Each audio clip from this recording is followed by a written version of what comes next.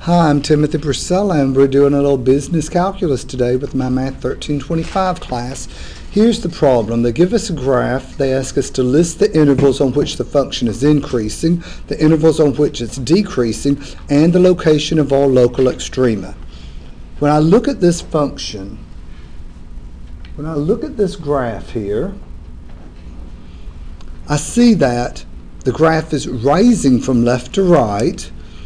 It looks like this, for, for one thing, this graph looks like a parabola. The graph is rising from left to right.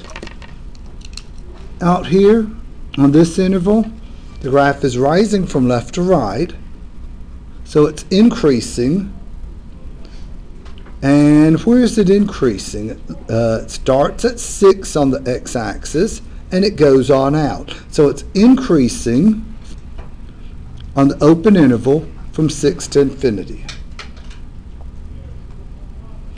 Decreasing, that means the graph is falling from left to right. You're looking from left to right. Don't let the fact that those arrows keep going up make you think it's increasing. It is not. When you look from left to right, from left to right, the graph is falling. So out here, all out there, it's decreasing. So from negative infinity up to 6 on the x-axis, the y, coordinate, uh, the y coordinates are getting smaller and smaller. The graph is falling from left to right. Do we have a local maximum? A local maximum occurs when the function is increasing. A local maximum that occurs when the function is increasing and then it changes to decreasing. A local minimum occurs when the function is decreasing and then it changes to increasing. I'll tell you this much, we have one of them, a local maximum or a local minimum. Which one?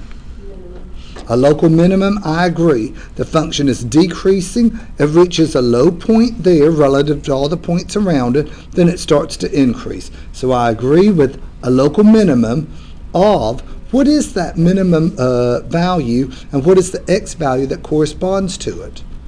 Looking there at that low point, what's the x value?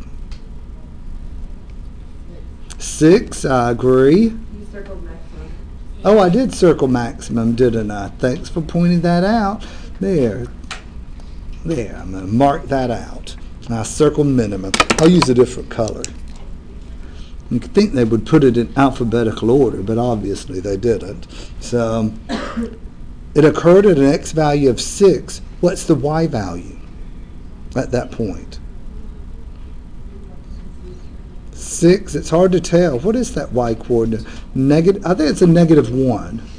I think it's a negative 1. Okay. I think that's at a, uh, the y value is negative 1 when x is equal to 6. Any questions there?